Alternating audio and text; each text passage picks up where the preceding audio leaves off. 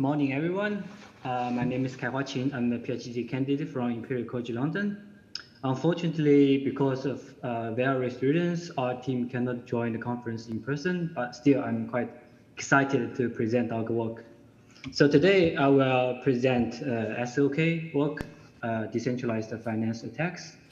Uh, this is a joint work uh, with uh, 10 authors from six different institutions. So let's get started. Um, if you are a blockchain user, and especially if you're, you are a DeFi user, I'm pretty sure that your cryptocurrency uh, assets are threatened by uh, different kinds of uh, decentralized finance attacks. Um, so if you follow up uh, uh, the medium or you are an active member of the DeFi community, uh, you will see a number of DeFi attacks like happening every week, uh, if it's not every day. So this attack causes millions of uh, US dollars of user loss. So DeFi attacks have become actually a major concern for DeFi in development and wide adoption. So this work, we want to systematically study these DeFi attacks. So in the first place, I would like to clarify that we don't have a formal or clear definition of uh, what is uh, what a DeFi attack is.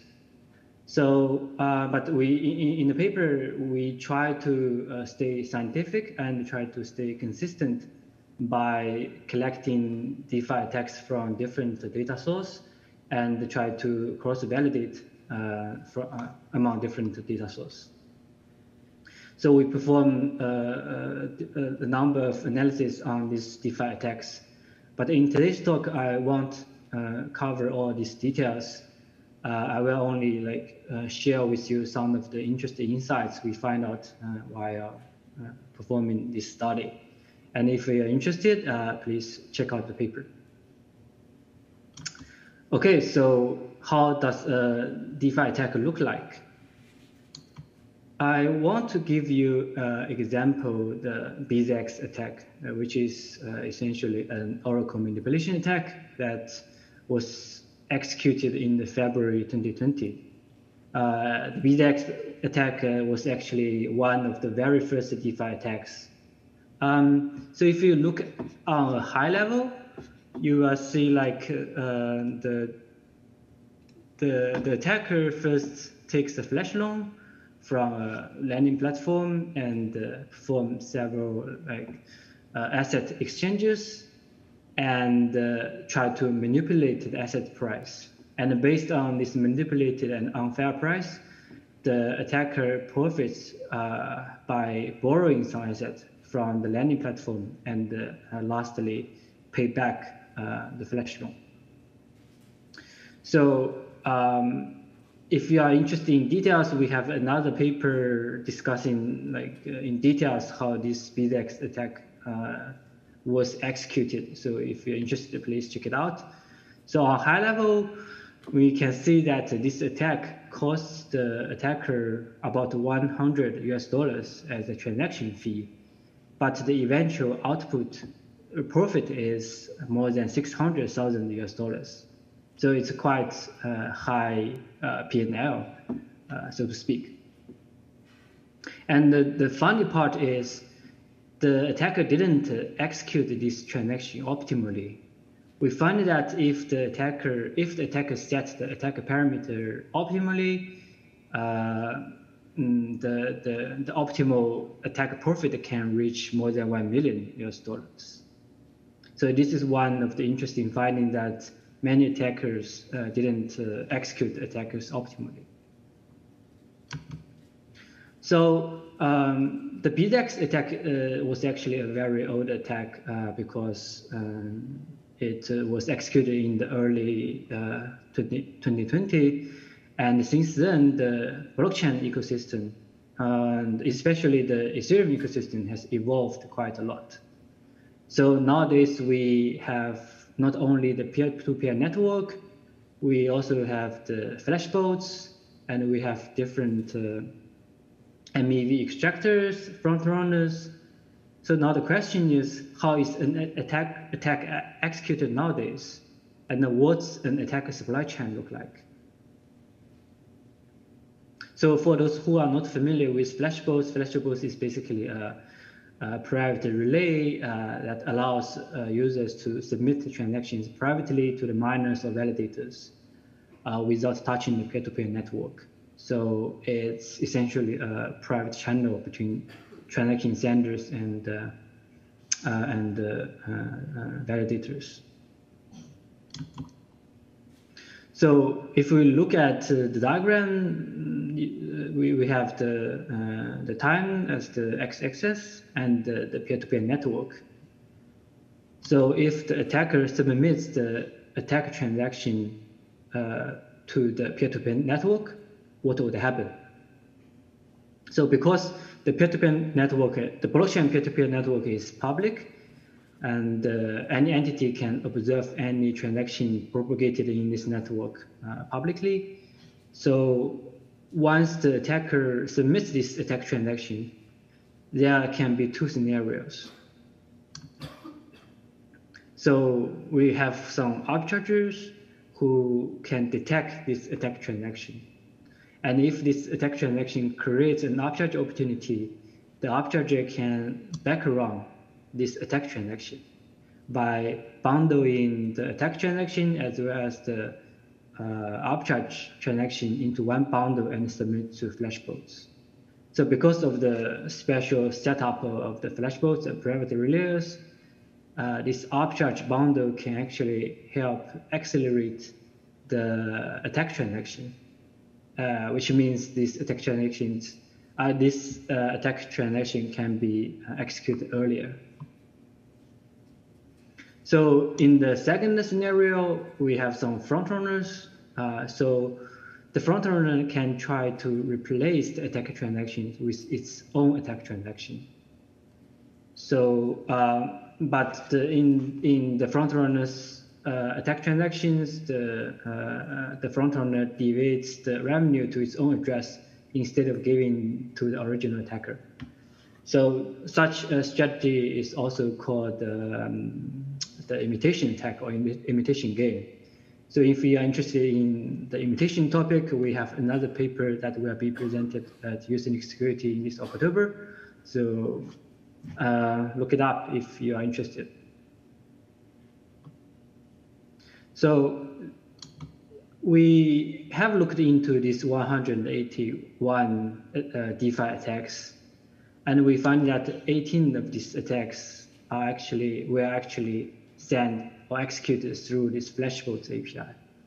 I want to bring attention that some of these uh, attacks are actually white hat, so-called white hat hackers. So basically, the uh, protocol operators find the vulnerabilities and they attack themselves. And the reason they use the uh, Flashbots APIs to uh, try to protect their white hat, white, white hat hackers from these generalized front runners. And we interested in find out that six of uh, these attacks uh, were actually accelerated by, for instance, arbitrage traders through these uh, arbitrage bundles I just mentioned. So another interesting insight we find from this study is that 56% um,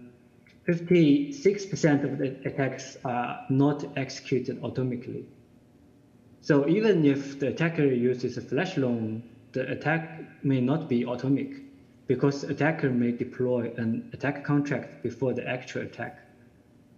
So um, if we look at the uh, life cycle, so we can see attacker initially deploy an attack contract, and typically after minutes or sometimes even uh, days, the first attack uh, transaction will be executed.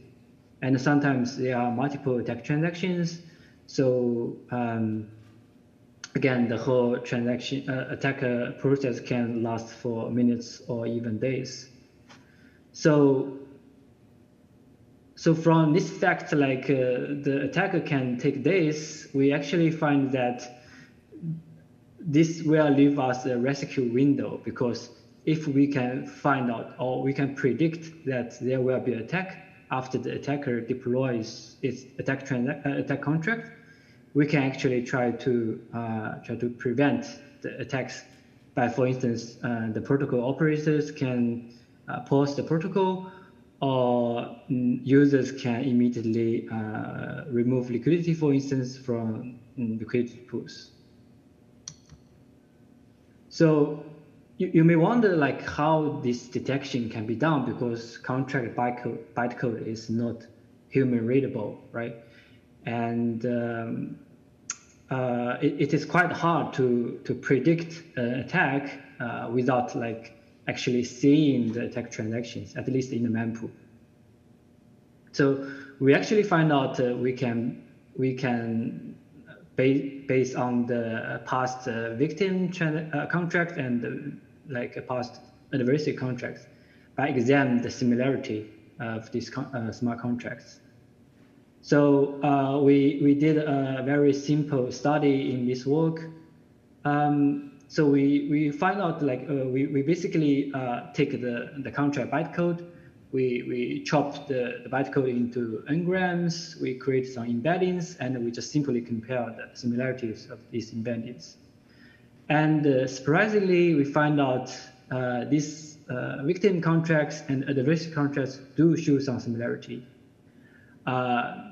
And we believe that this is a promising direction that we can use to prevent DeFi attacks. At least we can do some active intrusion detection. Okay, so um, I'm running out of time, uh, so I will just uh, skip the case study and uh, I'm happy to take questions.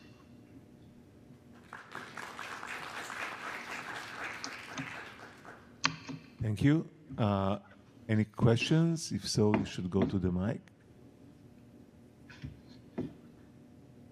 If not, then I have a question. Uh, hmm? How do you define the, the difference between uh, a DeFi attack and just a smart uh, trader trying to make money? Uh, so what is the, yeah. Yeah, so um, so basically, I mean, to be honest, we don't have, as I mentioned, we, we don't have a clear definition like what is attack or what is arbitrage. I mean, sometimes the attack can be arbitrage. So our way is to based on um, based on the so we basically on the data source we collect from diff, uh, several different data sources like uh, some are from some auditing companies and some like social media and the general rule is like uh, some users lost asset or lost money in these incidents, let's say. So we, we typically define these uh, transactions as attacks. Okay, but uh, maybe on a more philosophical level, uh, like sometimes users lose money because they're not smart enough and they buy stocks that go down. Uh, how do you, what's the difference between this and an attack? Yeah, so in, in this case, like if a user uh, purchase like uh, some asset at uh, at uh, let's say a bad price, there's no the concept of attack, right? This is just a mistake of this single user. So um, so there's like uh, there's no vulnerabilities exploited, and uh, basically there's no active action like performed by any attacker or any entity. So we try to exclude such transactions uh, from our data set. Okay, oh, there's another question here. Yeah. Okay, hi. Uh, this is Drew from Purdue, and it's a great talk. So I, I am curious, like you mentioned that there is a time difference or time windows between the attacker deploy the exploit contract and then launch the real attack. So I'm just curious about how long, like the average time between the deployment and the real attack? Like, like how many days or yeah? Uh, yeah, I mean, sorry, I, I cannot remember the detailed numbers, but uh, I can remember on average that the uh, time frame uh, should be like uh, minutes level, oh, and but uh, the maximum can be days. I see, I see. Yeah, thank you.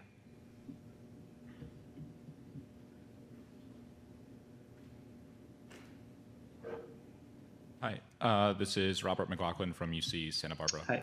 Um, so my question is uh, regarding your uh, similarity analysis for adversarial contracts. Um, you find a pretty high correlation. I'm wondering if you tested um, the, uh, the similarity to just random benign contracts. In other words, is the correlation truly indicative of like its adversarial nature, or is it perhaps common libraries included in many different uh, smart contracts?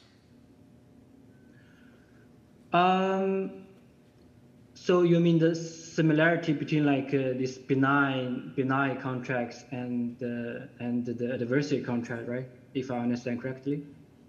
R yeah, right. Um, so yeah, I mean, so I'm big. I mean, this this study is quite uh, like uh, uh, like uh, like simple. is a very simple part of this this work. So we didn't do like a comprehensive or like deep analysis of this like how how to compare the adversary contracts and the, the, the benign contracts. Okay. So uh, we'll say this is our future work. Thank you. Okay. Thank you. Thanks a lot. And let's thank the speaker again.